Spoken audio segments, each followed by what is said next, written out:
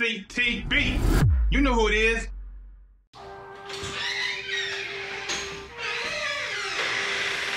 YouTube, what's going on? It's your boy Concise the Barber. And today we're going to be talking about my top five accessories that I need at my barber station or just my barber studio or my barber room into my barber studio. So let's go check out these five things that I need. And I'm also going to have an honorable mention. I know this is one of the things that is, most people think it's a necessity, but you'd be surprised how many people that don't have. So let's check out these items and let's get into the video. All right, so one of the accessories that helps out my flow of the whole barbershop is a coat holder slash capes and aprons. Um, this honestly, having it right in front of my door, right next to it, helps me organize things. I have my aprons and I have my capes that go right here. And just having a place where I have all of that stuff, it definitely helps with not just having it on the chair. I know sometimes barbers leave their capes on the chair, which is fine. But this right here, if you're you know, around winter time, if you live in an area where it's cold and you need to hang up their stuff, having this is a must. I don't know that many places that don't have it, but I definitely feel like if you are gonna open up a new studio, this is something that you don't wanna forget about.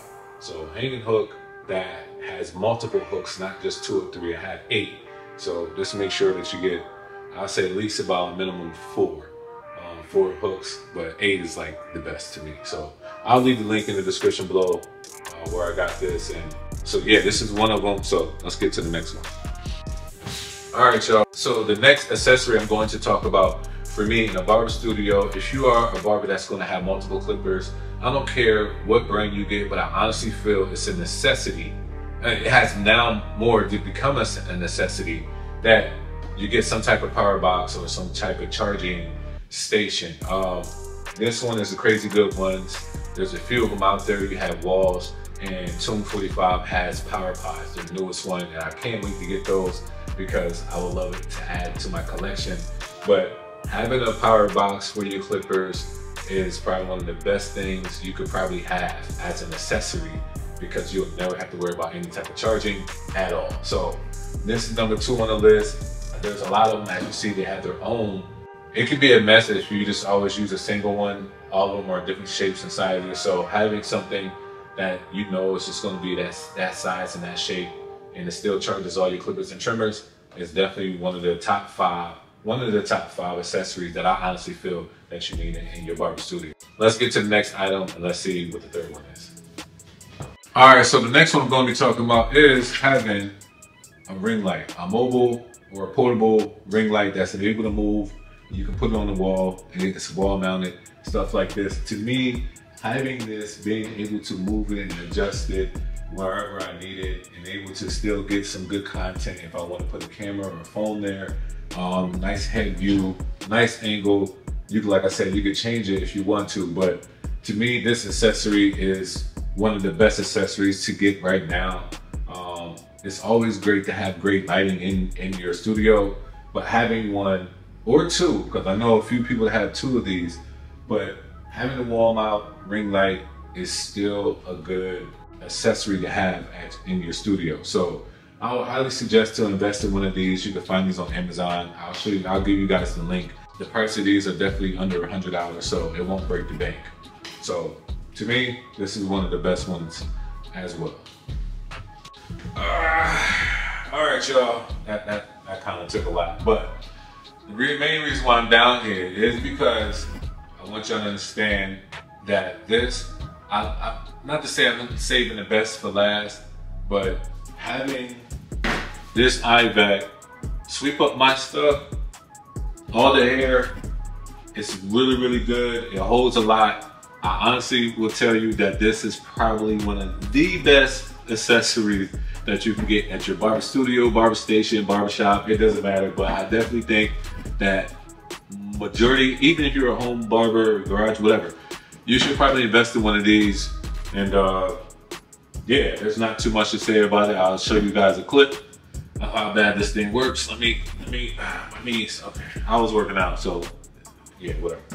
All right, y'all, so for the fourth accessory, I honestly think that if you're gonna do any extra services, anything of that nature, I definitely think that a steamer is definitely one of the things that you want to have. To be to be honest, this thing can help you earn a lot of money if you invest into a steamer. And yes, there are some steamers right now that is between like seventy dollars to seventy dollars to two hundred that would do you some real.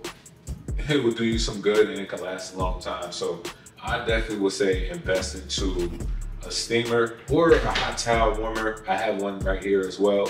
But having these type of things is an accessory um, that you can benefit off from financially so much. So definitely a great investment. So make sure you guys get that. If y'all like the top five, click on the link below in the description and you guys will see everything there. So thank you for watching the video. And if you stayed all the way up until this point, I'm glad that you did because I'm going to give you an honorable mention. If you're on IG, TikTok, whatever platform that you're using, this is something that you might want to invest in that is under $20. So let's see what that is. All right, y'all, so we're back. Honorable mention is this bad boy. This bad boy that sits on my mirror is a camera, cell phone, mirror mount, and this thing holds about 40 to 50 pounds, I think.